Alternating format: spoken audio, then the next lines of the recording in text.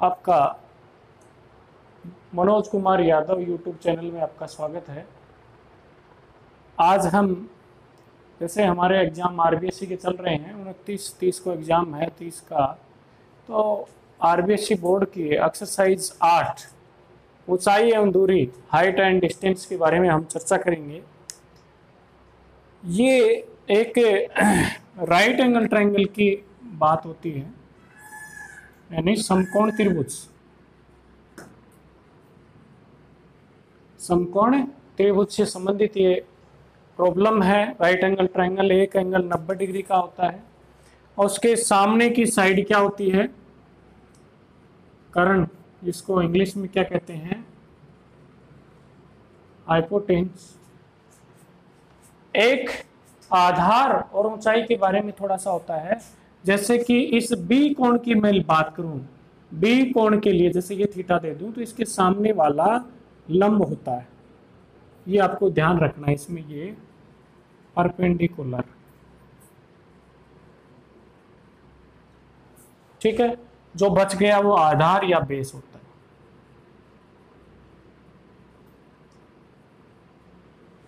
Hypotenuse सबसे बड़ी side, सब, सबसे बड़ी भुजा हाइपोटेंस कहलाती है। इसमें कंफ्यूज नहीं होते हम। हम जो परपेंडिकुलर या लंब है, इसमें कंफ्यूज होते हैं।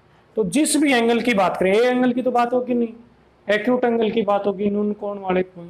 इस सी के लिए ये तो लंब हो जाएगा और बच गया वो आधा। लंब यानी परपेंडिकुलर और ये बेस हो गया। बी कोण की बात करें तो ये लंब और ये आधार सी कोण की बात करें तो ये लंब, ये आधार यानी जिस कोण की बात करें, उसका ऑपोजिट साइड उसकी परपेंडिकुलर या लंब होगी और बच गई वो साइड क्या होगी? उसकी आधार या बेस कहलाती इसके लिए इसकी साइड्स के अंदर रिलेशन होते हैं।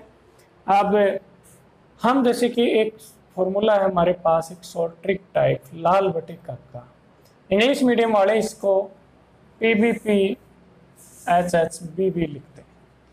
इंग्लिश मीडियम वाले इसको काम में लेते हैं, हिंदी मीडियम वाले इसको काम में जिनका हिंदी माध्यम है वो लिखते हैं लाल बटे कक्का। एल का मतलब होता है लंब। के का मतलब होता है कर्ण। और ए का मतलब होता है आधार। ओके इंग्लिश में पी का मतलब परपेंडिकुलर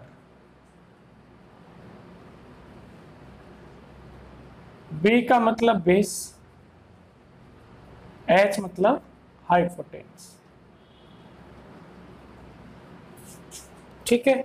ये आपको फॉर्मूला याद करना पड़ेगा, लाल बटे कक का, जो आपने एक्सरसाइज सात और छः में भी आपने सीखे हैं, उनके आधार पे। एक, आपको जो टिग्नोमेट्रिक रेशियो है, त्रिकोणमितीय अनुपात, पहले वाला क्या होता है?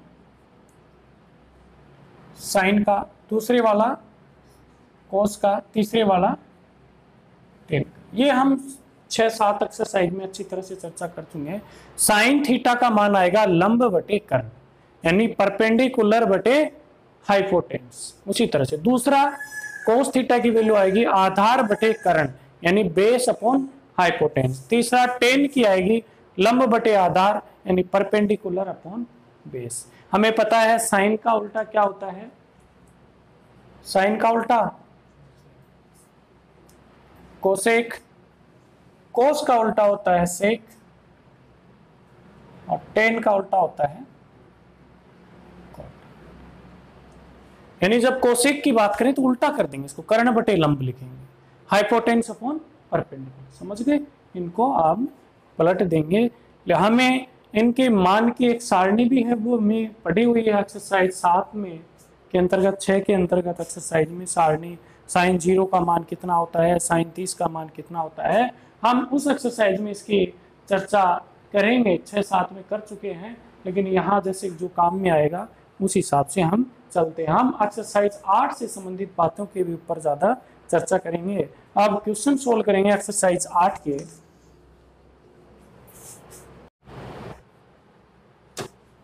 एक्सरसाइज आठ का पहला क्वेश्चन है कि ऊर्ध्वाधर खंबे की परछाई खंबे की ऊंचाई के बराबर है तो सूर्य का उन्नयन कौन होगा?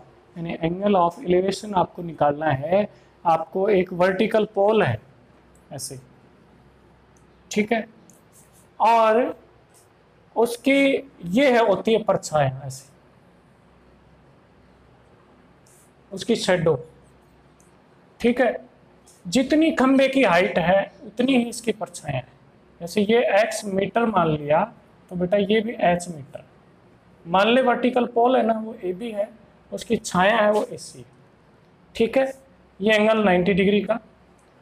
आप जो सूर्य का उन्नीन कोण क्या होगा? यानी angle of elevation angle of elevation आता है, नीचे से ऊपर की तरफ़ देखते हैं, ये एंगल ये एंगल आपसे पूछ रहा है।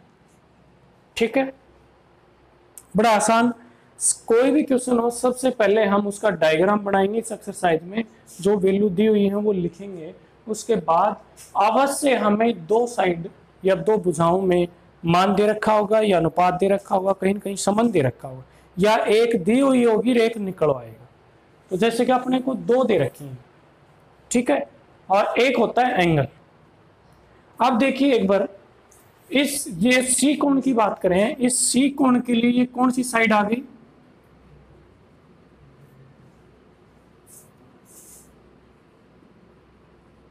परपेंडिकुलर आएगी। बच गई वो क्या आई बेटा? बेस या आधार। वैसे सबसे बड़ी करण होती है ये।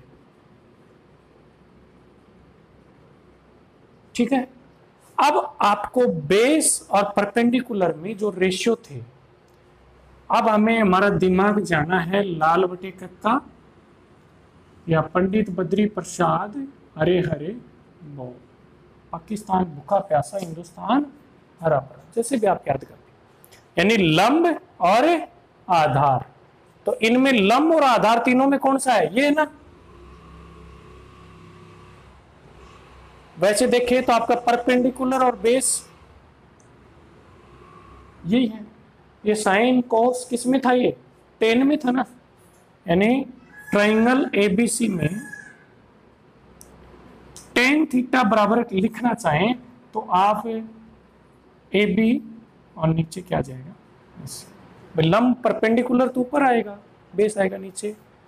टेन थीटा का हमें मान निकालना है। ए बी कितना आपके पास? H H E B H दोनों बराबर है? एच मान ली मैंने। दोनों बराबर है तो क्या मान गया? एक। अब टेन के अंदर, इधर टेन थीटा बराबर एक है। टेन के अंदर एक मान किसका होता है? ये और टेन पैंतालीस का। कितने का मान होता है? टेन पैंतालीस का मान एक होता है। तो थीटा का मान कितना आ गया? जो आपसे ये उन्नयन कोण या एंगल ऑफ़ एलिवेशन पूछा था, उसका मान कितना आ गया? फोर्टी फाइव इसी का हम अगला क्वेश्चन कर रहे हैं सात। बहुत अच्छा क्वेश्चन है। यदि किसी मीनार के आधार से ए तथा बी दूरी पर उसी सरलेखा पर स्थित दो बिंदु से मीनार के शिखर का उन्नयन कोण क्रमशः तीस डिग्री व साठ डिग्री हो तो मीनार की ऊंचाई बताइए। यानी कोई भी मीनार है, मान लें ये आपकी मीनार है। इसकी ऊंचाई मैंने एच मीटर मान ली। ठीक है? अब इसके पॉइंट के ऊपर दो, एक जैसे कि पॉइंट है यहाँ। ये बिंदु सी ले लिया। ये कितनी डिस्टेंस है? बी डिस्टेंस है ये। और एक आगे ऐसे ले लिया हमने। डी। तो ये पूरी ए डिस्टेंस। एक पॉइंट है ए डिस्टेंस पे, एक पॉइंट है बी डिस्टेंस पे। दो दूरियाँ ठीक है? ए डिस्टेंस पे कितना डिग्री का एंगल है ये? तीस डिग्री का ये एंगल। वैसे जो नज़दीक चलते जाएँगे तो एंगल बढ़ता जाएगा, कोण बढ़ता जाएगा। आपसे इसकी हाइट पूछ रहा है। क्या पूछ रहा है? हाइट निकल रहा है आपके मीनार दी हुई है एंगल ऑफ़ एलिवेशन ये दो एंगल दिए हुए हैं। यहाँ तक डायग्राम बनने के बाद आपको वो याद रहना चाहिए अपना।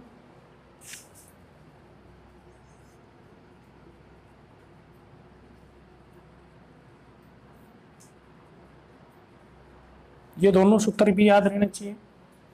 उसके बाद में, जैसे कि हम इस ट्रायंगल की बात करें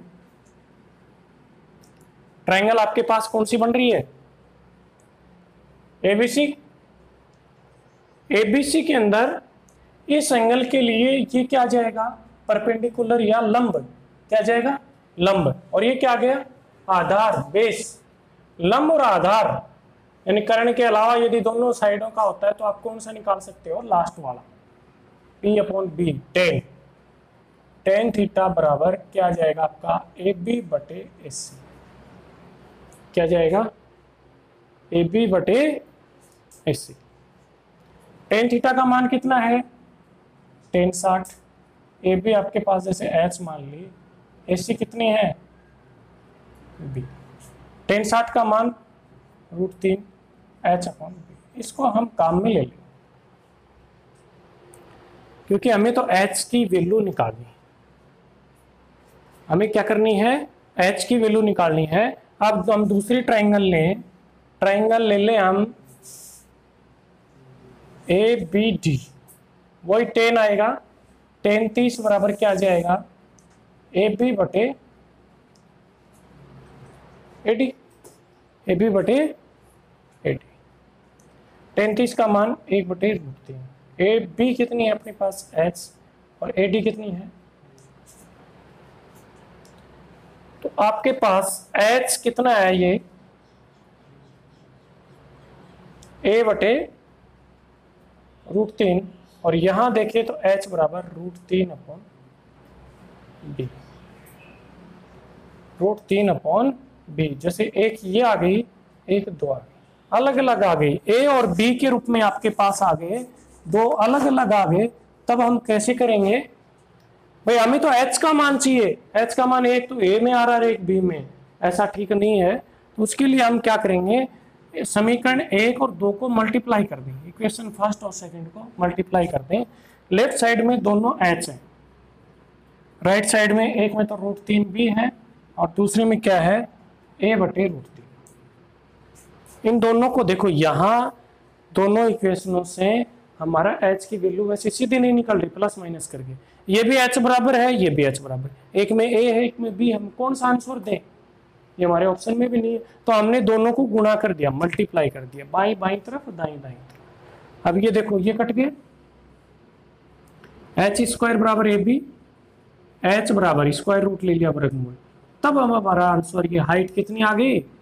ए बी रूट जो आपके ऑप्शन में पूछ रहा है। तो क्या आंसर आ जाएगा इसका? A B root square root A B अगला क्वेश्चन बहुत ही और भी अच्छा क्वेश्चन है। आठ का। 25 मीटर ऊँचे एक स्तंभ में कोई पोल है जिसकी हाइट है 25 मीटर और शीर्ष से एक मीनार के शीर्ष का उन्नयन कौन? एक मीनार है एक पोल है। मीनार के पाद का उन्नमन कौन? समान है। मीनार की ऊंचाई। यानी एक तो आपके पास पोल है। स्तंभ। ठीक है?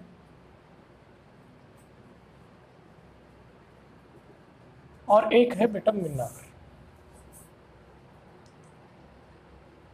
ये मीनार। अब क्या कह रहा है देखिए। 25 मीटर ऊँचे एक स्तंभ, यानी ये ऊंचाई कितनी है?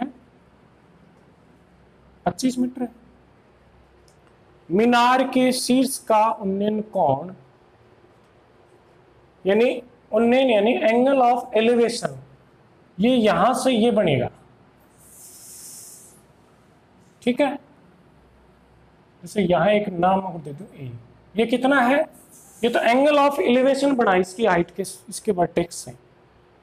और मीनार के पाद का अवनमन कौन? था मीनार के शीर्ष का उन्नयन कोण और मीनार के ऐसे पाद बनाएँगे? तो ये अवनमन कोण बनता है? ये भी क्या बनेगा? थीटा बनेगा। एंगल ऑफ़ डिप्रेशन क्या बनेगा? एंगल ऑफ़ डिप्रेशन लेकिन हम जैसे ये खींचे, ये पैरल लाइन होती है तो ये एंगल आपस में क्या होते हैं? अल्टरनेट एंगल होते हैं, एकांतर कोण होते हैं तो ये मान क्या आते हैं? बराबर। ठीक है? अब ये मीनार की ऊंचाई पूछ रहा है। देखो, एक बात देखो, ये 25 है तो बेटा ये कितनी है? यहाँ तक यहाँ तक पच्चीस ही है। ठीक है, अब इस ट्रायंगल की बात करेंगे। हमें पूछ रहा है पूरी सीडी क्या पूछ रहा है ये? सीडी मीनार की ऊंचाई है। तो ये आ जाएगा सी E plus E D C कितनी है? पच्चीस। आपको ई डी और चाहिए? उसको निकालने के लिए पहले हम इस ट्रायंगल में आएँगे एबीसी में। ठीक है? ये परपेंडिकुलर इसके लिए ये लंब, ये आधार, ये बेस लंब और आधार क्या होता है बेटा? टेन लंब तो आ जाएगा ए बी परपेंडिकुलर बेस आ गया इसका ए सी टेन थीटा लेकिन थीटा का मान हमें पता नहीं है ए बी कितनी है? पच्चीस ए सी ठीक है? अब मैं इसको क्रॉस मल्टीप्लाई कर रहा हूँ। एस सी बराबर टेन थीटा की जगह क्या हो जाएगा? कोट थीटा यानी एस सी का मान। पच्चीस कोट थीटा ये एक बटे टेन थीटा है। इसको मैं क्या लिख सकता हूँ? कोट थीटा एक बटे टेन थीटा का मान क्या होता है बेटा? कोट थीटा होता है। मैंने ये मान अब, आप डायग्राम में देखें कि ए सी और बीई बराबर है क्या? बराबर है दोनों। वो भी कितनी आ जाएगी? पच्चीस कोट थीटा आ जाएगी। अब हम इस ट्रायंगल में चले। ये हमारे पास क्या आ गई? पच्चीस कोट थीटा अब ये साइड आ गई, ये थीटा है तो इससे हम निकाल सकते हैं। ये जैसे बेस आ गया इस थीटा के लिए, ये क्या आ गया? परपेंडिकुलर, लंब। और ये क्या गया? आधार। और लंब और आधार, हम देखें, लंब और आधार किसमें आते हैं बेटा? टेन में। अब हम दूसरी त्रिभुज देखें। बी ई डी में। टेन थीटा बराबर डी ई बटे बी ई टेन थीटा बराबर डी ई ये तो आपको निकालनी है। बी ई कितनी निकाल ली आपने? पच्चीस कोट थीटा। कितनी निकाल ली? पच्चीस कोट थीटा। कितनी आई?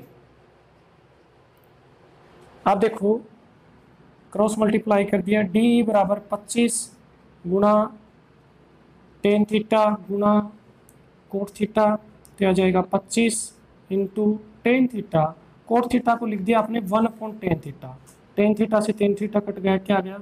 पच्चीस। ये बेटा, ये पच्चीस मान आप यहाँ रख दें तो ये पचास। जो आपकी मीनार की ऊंचाई हाइट पूछी थी, वो कितनी आ जाएगी? पचास आ जाएगी। इस तरह के क्वेश्चन ज़्यादा पूछे जाते हैं, क्योंकि इसमें दो तीन तरह के लॉजिक आपसे पूछा गया है। पहले आपने इससे ये निकाल लिया, ये ये बराबर आ गई, फिर इस ट्रायंगल से आपने ये निकाल लिया, इन दोनों को आपने प्लस कर दिया। अगला क्वेश्चन नंबर नौ। एक ऊर्ध्वाधर छड़ की लंबाई और इसकी छाया की लंबाई का अनुपात एक अनुपात रूट तीन है तो सूर्य का उन्नयन कौन होगा? ठीक है? अब ये जैसे छाया है शेडो ये छड़ की लेंथ छाया ऐसे बनती है, सूर्य ऊपर की तरफ़ होता है ऐसे ऊपर। ये आपको निकालना है थीटा अब इसमें दो साइडों की बात हो रही है, लंब और आधार। या परपेंडिकुलर और बेस परपेंडिकुलर और बेस में क्या आता है बेटा? टेन आता है। ठीक है? बीसी और ए बी इन दोनों का अनुपात क्या है ये? एक अनुपात तीन है, इसको आप ऐसे भी लिख सकते हो। आपको बीसी छड़ की लंबाई और उसकी छाया शेडो दोनों का रेशियो ये दिया हुआ है। ठीक है इसको आप ऐसे भी लिख सकते हो। रेशियो है, ऐसे कि तो आप ये लिख दिया वन अपॉइंट रूट तीन टेन के अंदर ये बेटा टेन कितने का मान होता है? तीस का मान होता है। तो थीटा का मान कितना आ जाएगा? तीस डिग्री। तो उस कोण का एलिवेशन क्या आ जाएगा? तीस डिग्री मान आ जाएगा। एक पहाड़ी का ढलान क्षैतिज से 60 डिग्री का कोण बनाता है। यदि शिखर पर पहुँचने में 500 मीटर चलना पड़ता है तो पहाड़ी की ऊंचाई। एंगल ऑफ़ एलिवेशन है, ये 60 डिग्री। ये इधर से पहाड़ी पे चढ़ते हैं ढलान पे, क्योंकि पहाड़ी पे सीधा नहीं चढ़ा जाता, ढलान का ये 500 मीटर ये पहाड़ी का ऊंचाई बताइए। देखिए, इस एंगल के लिए ये तो क्या होगी बेटा? ऊंचाई या हाइपोटेंस सॉरी परपेंडिकुलर और ये आपका कर्ण। सबसे बड़ी भुजा है इधर वाली हाइपोटेन्स तो आपको जो फॉर्मूला बताया है, लाल बटे कक्का या पंडित बद्री प्रसाद हरे हरे पौर इसके अंदर आपको परपेंडिकुलर और हाइपोटेंस यानी ऊंचाई और करण। ऊंचाई को हम लंब लंब बटे करण। कौन सा आता है सबसे पहले वाला? साइन। तो हम लेंगे साइन लंब बटे कर्ण, यानी बीसी बटे एसी यह गया साइन साठ. बीसी हमें निकालनी है. एसी कितनी है हमारे पास? पाँच सौ. ये माना गया अंडरूट तीन बटे बीसी बटे पाँच सौ. बीसी का मान निकालना है तो ये ऐसे आ जाएगा. काटा आपने तो दो सौ पचास. बीसी बराबर इसका मान एक पॉइंट सात तीन दो दो सौ पचास, ऐसे रख के भी अप्रोक्सीमेट आ जाएगा। पच्चीस दूनी पचास, असल पाँच। पच्चीस तिया पचहत्तर, पाँच अस्सी, असल आठ। पच्चीस सती सात पैंतीस, सात दूनी चौदह, सत्रह और आठ। पाँच तेरह, एक सौ तिरासी। आठ। पच्चीस एकम पच्चीस और पच्चीस और अठारह। तैतालीस।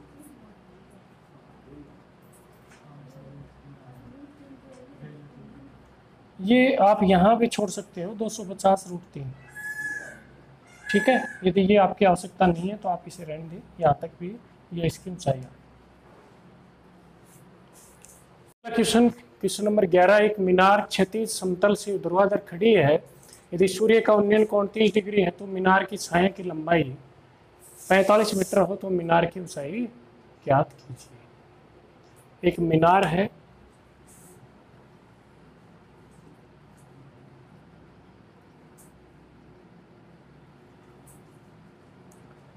ठीक है ऊर्ध्वाधर खड़ी है।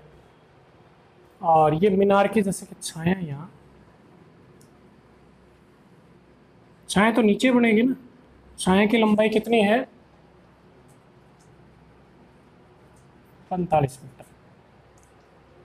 ये मीनार की ऊंचाई एच मीटर मान ले, ये आपको ज्ञात करनी है। और थीटा कितना है? सिंपल सी बात है, दो साइडों का रेशियो कौन सा है? टेन है ना?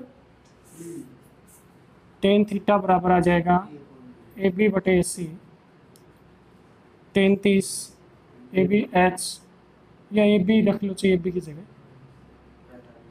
पैंतालीस. तैंतीस का मान ए बटे रूट तीन.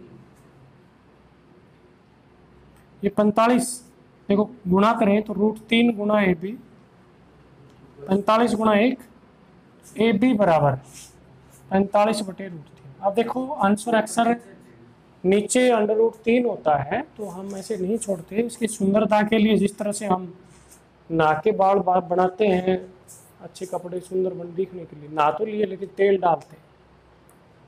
बालों में कंगा करते हैं। उसी तरह से इसका भी श्रृंगार करना पड़ेगा।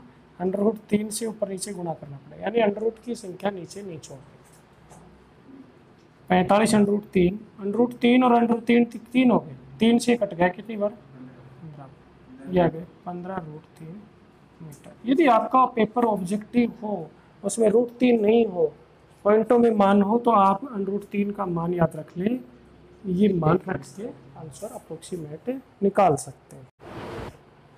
देखिए क्वेश्चन नंबर पंद्रह, इसी एक्सरसाइज का, किसी स्तंभ की चोटी का उन्नयन कोण एंगल ऑफ़ एलिवेशन समतल पर स्थित एक बिंदु पे 15 डिग्री है। स्तंभ की ओर 100 मीटर और चलने पर उन्नयन कोण जो एंगल ऑफ़ एलिवेशन है 15 से 30 हो जाता है। तो की ऊंचाई ज्ञात कीजिए, जहाँ पे आपको एक मान भी काम में लेना है टेन पंद्रह बराबर दो माइनस रूट टेन तो देखिए, इसमें डायग्राम सबसे महत्वपूर्ण है। सबसे पहले ये स्तंभ। है ए बी स्तंभ। ओके? मान लिया कि बी स्तंभ है। अब इसके किसी स्तंभ की चोटी का उन्नयन कोण समतल यहाँ से? जैसे कि ये एक पॉइंट है सी यहाँ से ये एंगल ऑफ़ एलिवेशन कितना है बेटा ये? शुरू में पंद्रह डिग्री। समझ गए? कितना है? पंद्रह डिग्री। अब ये यहाँ से इस स्तंभ की ओर चल रहा है, ऐसे आगे की तरफ़ चल रहा है। और कितना चल रहा है ये? सौ मीटर चल रहा है, जैसे सौ मीटर यहाँ तक चल गया। ये 100 मीटर दूरी है। 100 मीटर चलने के बाद यहाँ जो एंगल ऑफ़ एलिवेशन या उन्नयन कोण बनेगा, वो कितना डिग्री हो गया? तीस डिग्री कितना डिग्री हो गया? तीस डिग्री होगा। आपको ये स्तंभ की ऊंचाई निकालनी मान लें कि ए से डी के बीच में एक्स मीटर दूरी है। कितनी दूरी है? X metre. मैंने मान ली। तो पूरी ए से लेके सी तक कितनी आएगी बताओ?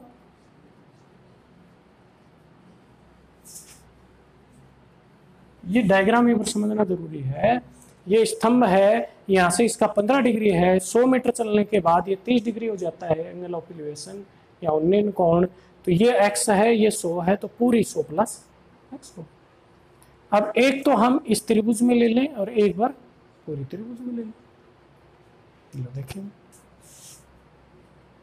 पहले छोटे वाले में लें। त्रिभुज ए बी डी में। इस एंगल के लिए ये लंब या परपेंडिकुलर ये बेस, कौन सा लगेगा? टेन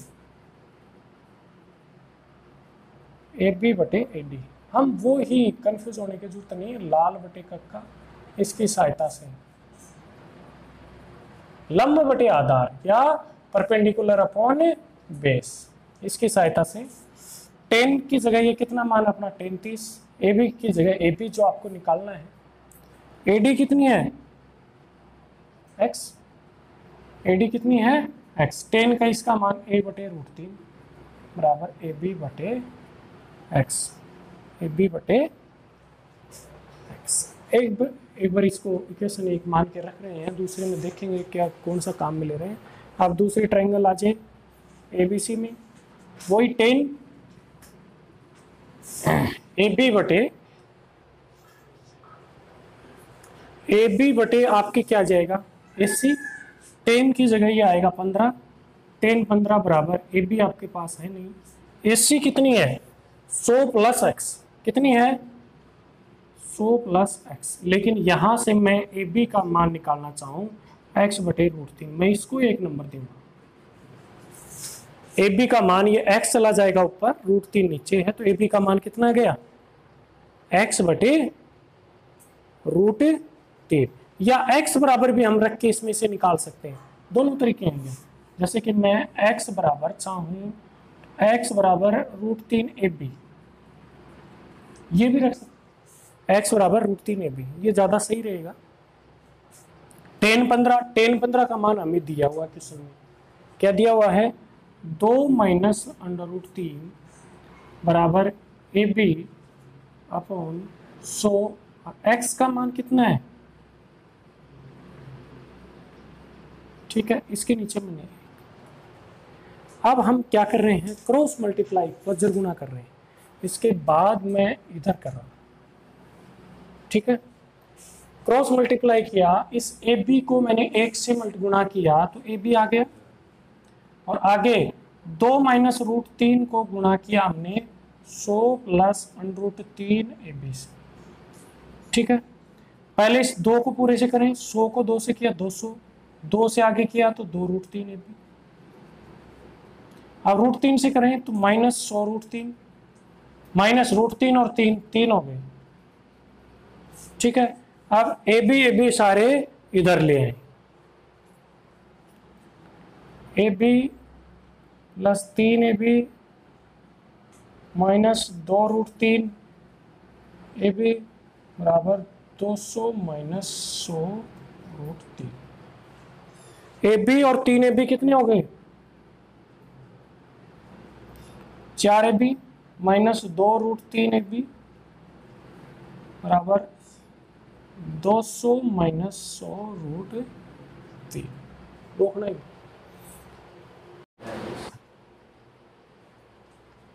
ये आया चार ए बी, ये हम ऊपर ले गए। इसमें ए बी कॉमन लिया, चार माइनस दो रूट तीन, दो सौ माइनस सौ रूट तीन। ए बी बराबर ये नीचे डिवाइड हो गया।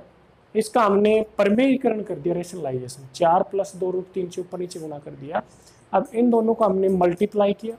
और ये A plus B A minus B A square minus B square चार का स्क्वायर सोलह, इसका स्क्वायर दो का चार एंड रूट तीन का तीन तो ये आ गए बारह। सोलह में से बारह गए चार। और इन किसके ऊपर गुणा किया तो हमारा ये आ गया। इससे ये कैंसिल हो गया। 800 में से 600 बचे, दो सौ दो सौ में चार का भाग दिया, पचास।